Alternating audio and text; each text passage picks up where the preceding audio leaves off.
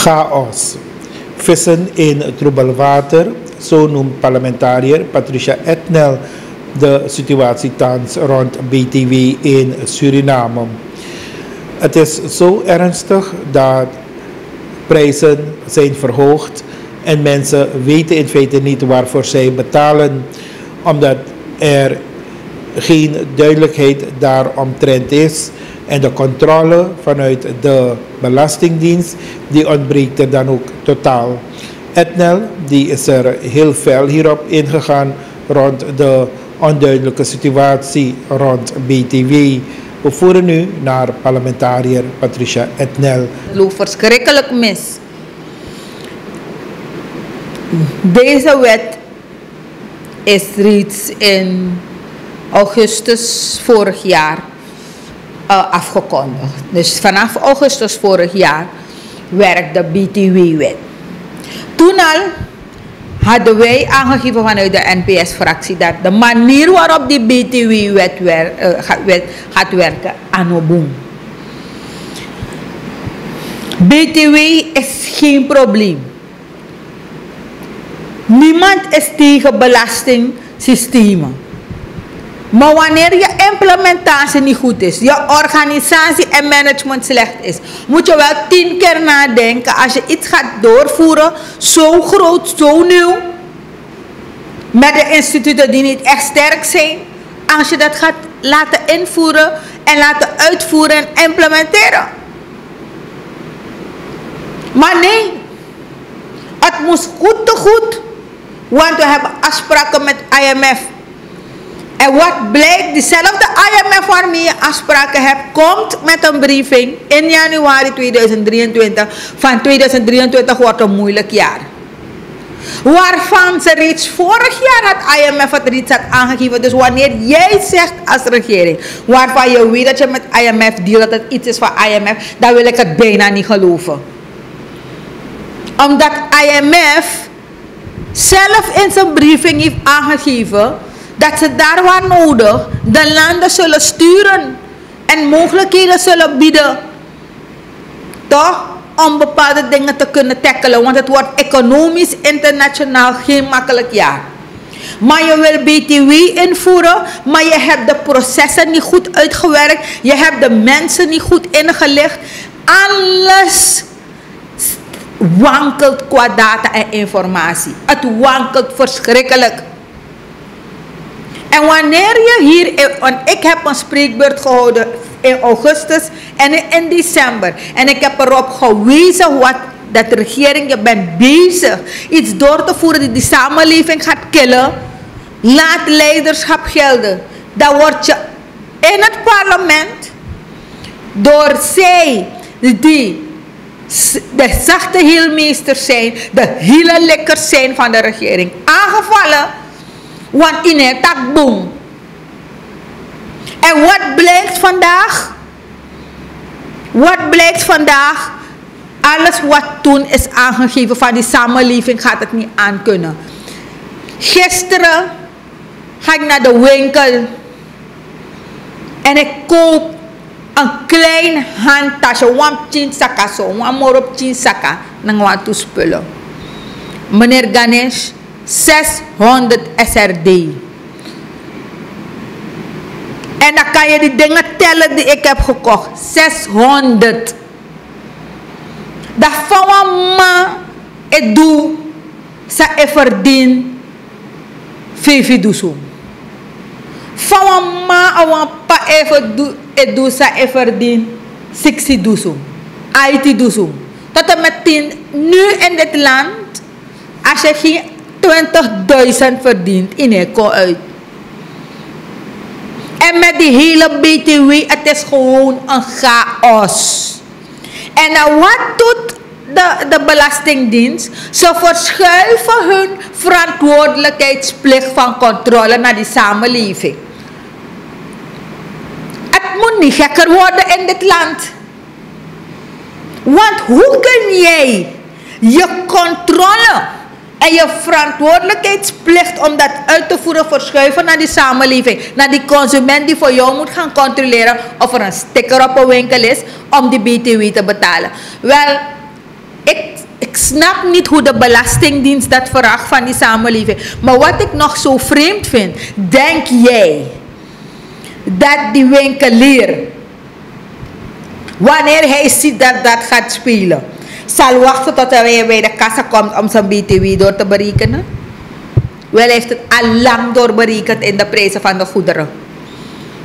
Al lang. Je gaat nu, dus die kleine pot chocopasta apchuang zo. Gisteren ben ik gaan kijken, dat wat je vorig jaar nog voor 60 SRD kon. Vandaag de dag is het 83 SRD, gisteren nog. Waarover praat deze regering? Ik vind het verschrikkelijk wat ze met het volk doen. Ik vind het verschrikkelijk. En weet je, niemand moet me komen vertellen, de president moet me dat verhaal niet eens komen vertellen dat hij niet weet wat er internationaal aan het gebeuren is. Niemand vanuit de regering moet me dat komen vertellen. Want de minister van Bibis, hij reist zoveel dat de first class van alle vliegtuigen zijn woonadres zijn geworden. Hier in het land Suriname is hij gewoon even om de bloemetjes buiten te zetten. Hij en Hoefdraad zijn hetzelfde als het gaat om het reizen. Dus hij hoeft me niet te komen vertellen dat hij niet weet wat er internationaal gebeurt. Want het buitenlands beleid draagt hij waardig uit. In zijn reizen, in het vertegenwoordigen van ons land internationaal. Ik geloof hij is het boegbeeld.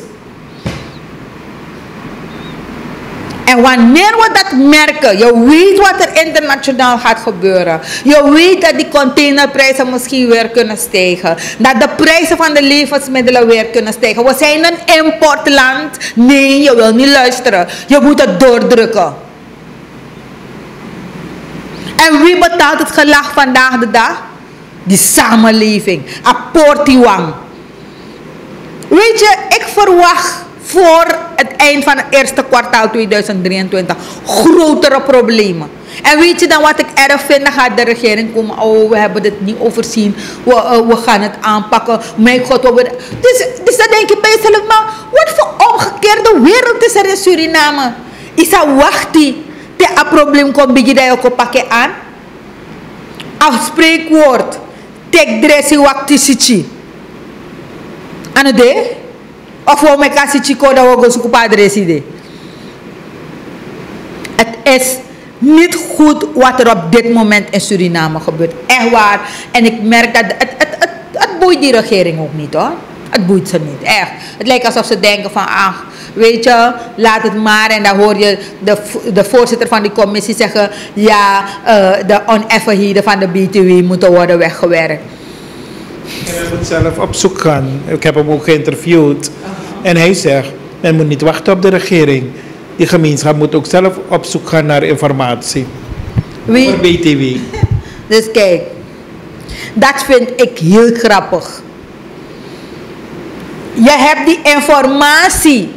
In, de, in die wet is het duidelijk hè, dat informatie naar die samenleving toe opgevoerd zou worden. Dat is één. Twee.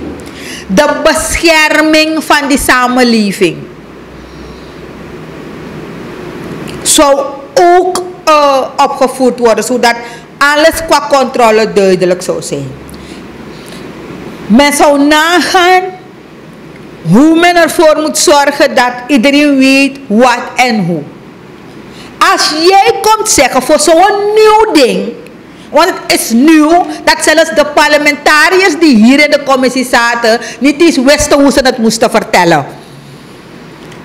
Hun plicht tot informatie hadden ze zelf ook, maar je zag het aan hun presentatie van hé, mi bre adis no pot a a na bako na wan. Hij tak wan tu sani ma abrakser mek mi taki da mi fura ting. Daar heb ik de tijd gevuld. Dat zeg je aan die samenleving, één, die het vreselijk moeilijk heeft.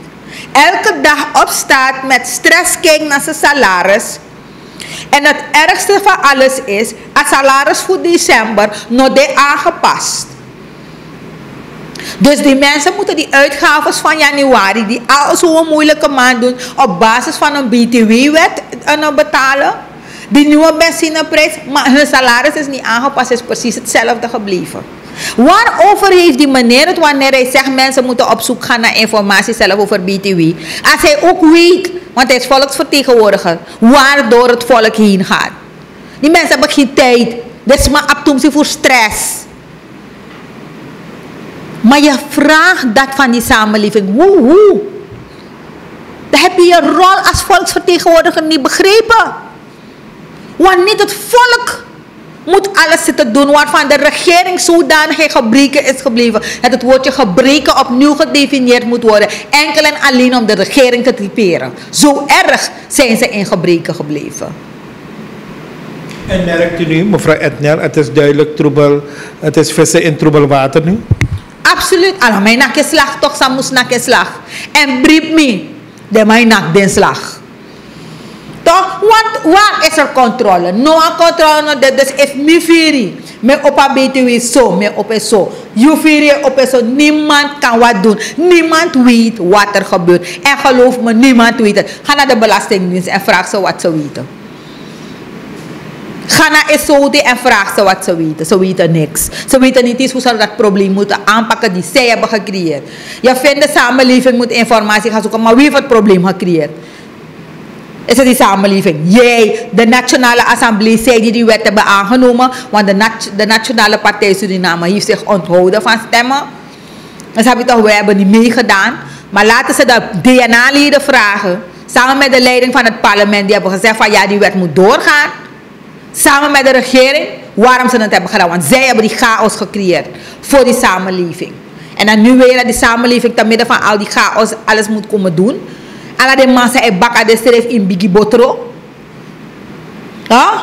Weet je hoeveel mensen nu, oh, andere systemen, importeur, tussenhandelaar, gaan de maken goed met mekamoni winkelieren met money. En we horen van veel mensen, mevrouw Ednel, die we geïnterviewd hebben en spreken, zij geven aan het gevoel te hebben dat ze nu ook, wat, want ze zeggen met BTW is OB weg komen te vallen, maar dat ze nu OB plus BTW betalen. Natuurlijk ga je dat krijgen, omdat weet je waarom?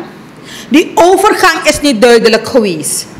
Het is niet duidelijk geweest van luister nou, vanaf nu, deze goederen die komen naar Suriname, zijn OB-vrij, dus ze gaan BTW krijgen.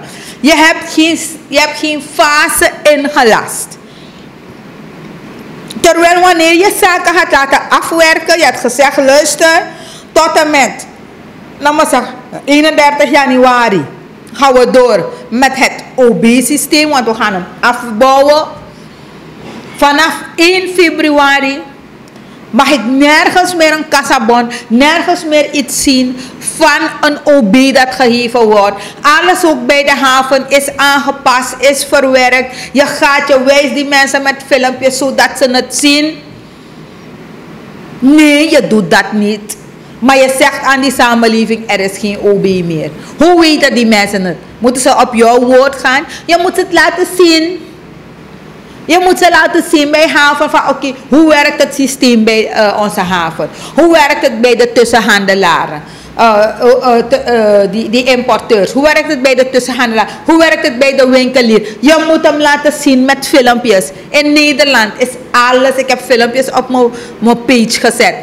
Alles is uitgewerkt. Ze laten je precies zien wie betaalt. En op den duur, de consument betaalt op basis van zijn verbruik. Hoe meer goederen je koopt, hoe meer BTW je gaat betalen. En wat is het gevolg daarvan? De potiwang, de wansa nabengba, de wansa struggling in life, en misschien een moeder, zeven kinderen, acht kinderen, zes kinderen. Als je drie kinderen hebt, is het moeilijk. Zelfs als je één kind hebt, is het moeilijk, is duur. Dan zeggen, ouders met kinderen, dat min tak hoeveel, want de hoeveelheid, dat maakt niet elk kind kost. Toch? Wanneer je verbruikt, dan ga je veel meer BTW betalen, ja. En wat is het gevolg daarvan? Jij als consument betaalt het gelag. Want die nultarieven en die vrijstellingen maken het niet beter denk niet omdat het nultarief is, dan ga je niet meer betalen. Nee, nee, nee, die nultarieven en die vrijstellingen hebben geen invloed op de prijsontwikkeling.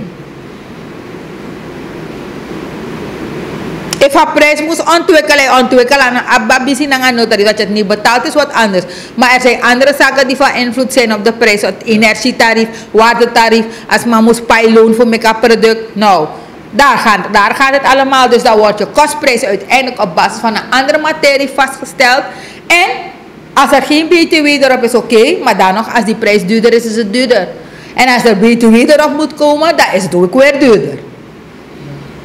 Waar die samenleving ook duidelijk opmerkt, mevrouw Etnel, dat er nog een, een waas is rond BTW, is ook als je nu een eetstap binnenzakt, dan heb ik het ook, zelf over de kleinste warung, die hanteert BTW.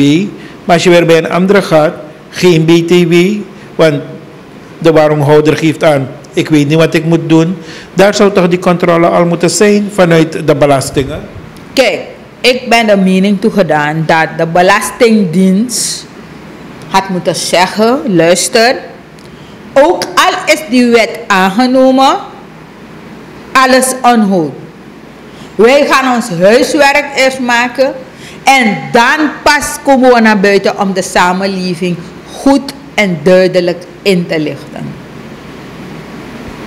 Want nu, geloof me, de Belastingdienst heeft één.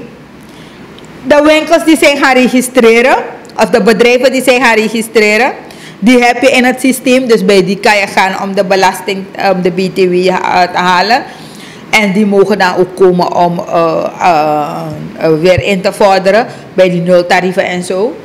Maar die bedrijven die niet geregistreerd zijn, die, die hebben ook BTW. Die hebben gewoon BTW in de producten. En zie daar hoe de staat verlies begint te leiden. Want voordat je die winkels in beeld brengt, voordat je die bedrijven in beeld brengt, weet je hoeveel tijd daar verloren is gegaan.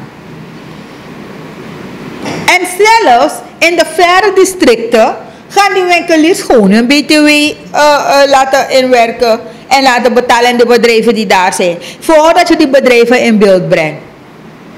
En geloof me, ze gaan niet zelf meer komen. Weet je waarom? Omdat ze denken, waarom moet ik toch zelf komen? Ik kan het toch weer gewoon makkelijk heffen. Nergens is er een systeem waar ik word geblokkeerd. Waar je plotseling ziet van, je kan niks meer doen. Er is nergens een proces ingebouwd. Dus die man denkt, nou waarom moet ik me gaan registreren?